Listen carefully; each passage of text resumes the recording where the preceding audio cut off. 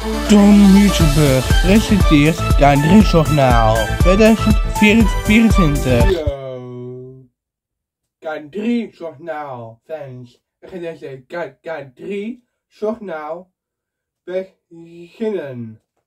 Ja, dat gaan we vandaag over hebben, over K3 Journaal. Ja, wat ga ik allemaal zeggen in een K3 Journaal? Ja, ik ga binnenkort met mijn band op 9 juni gaan wij naar K3 Musical van, van drie nieuwe, de drie Pictures Musical. Apeldoorn. Daar gaan we naartoe. Ik heb heel veel zin in. En bent ook. Of we de K3, het blijft heel leuk. Maar ik heb ontzettend goed, goed nieuws. Over de K3, hè. We hebben natuurlijk een nieuwe, een nieuwe, een nieuwe film.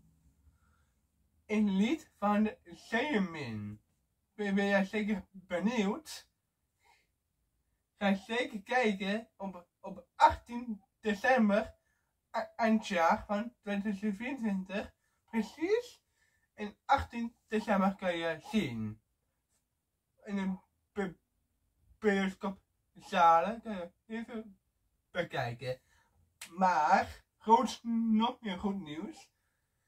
En volgend jaar, in 2025, komt er nu een show van K3. Dat heet K3 is van zomer en een zeesterren show. Dat, echt, dat wordt nu, nu al leuk.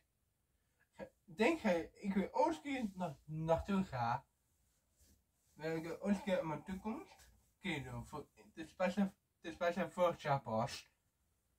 Ik, ben wel nu al benieuwd naar waar ik aan de regio wordt. Oh. Ik heb heel veel liedjes mee zingen. Een feestje, feestje van maken.